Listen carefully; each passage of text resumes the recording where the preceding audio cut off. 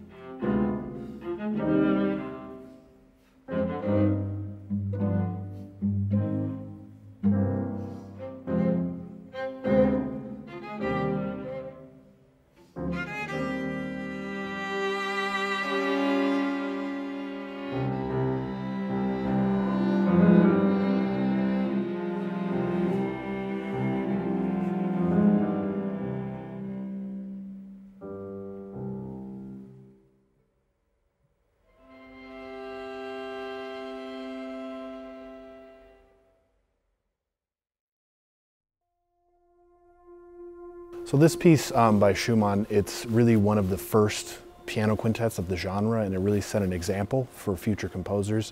And what's really interesting, I think, about this one is its kind of exuberant character and it's a very extroverted piece. Considering um, if you and know anything about Schumann's life, you know, later on he, he was mentally ill and all these things and was eventually institutionalized. And even you can hear that in his music and, you know, since I'm a cellist, one of the last pieces he wrote was the cello concerto which compared to something like this quintet, I would say is not as accessible in, in terms of you know melodic content and following lines throughout the group. But this piece, for me, you know, personally, this is the first piano quintet I ever studied when I was in school, and I've you know it's very popular. It's something you hear all over the place. I think I've this is now maybe the seventh time I think I've played it. So I, I think this is a very it's a very crowd pleasing work in that sense, and it's very easy to absorb by the audience. It's very catchy. It's kind of, it's not sad, but it's kind of serious. And so he starts playing the, the melody and then I respond. and then all of a sudden the light comes out. And it's just beautiful. It's really something to, to uh, experience and, and really, you know, it takes your breath away. There isn't any cheesy moment. You know, that's, that's the thing sometimes in romantic music. You can, it, it can start to sound like, you know, movie music, right? And so I, I, like there's like this sweet spot in the romantic era where you know the composers are very authentic and sincere, and yet they're very emotional and expressive. So it's for me, this music is part of that era and that sweet spot. When you play Schumann, um, you see the two sides of the story. Something that's very energetic, something that's super fast and outgoing, and then you see the other part that's kind of more introverted, more serious. And so definitely you can hear the contrast between the second and the third movement. The second is starts serious and then you see the light and then it comes back again and then the third is just vivacious, it's super energetic. So that's the big contrast because it's such a big piece. It's probably one of the most important piano quintets in the Romantic period. Um, this is the first time I've played it. I've always heard it, I've always wanted to play it. And it's, it's just great. It's like a, it sounds very full all the time. The piano is just, the piano part is quite difficult. And I think the composer did a great job at merging the quartet with the piano. Just having that grouping of instruments, and as you go forward in time, you have people like Brahms and Dvorak who wrote very large-scale piano quintets. So um, really that that's really how he kind of influenced this genre and almost kind of established it as a very serious genre in music of something that future composers could write for.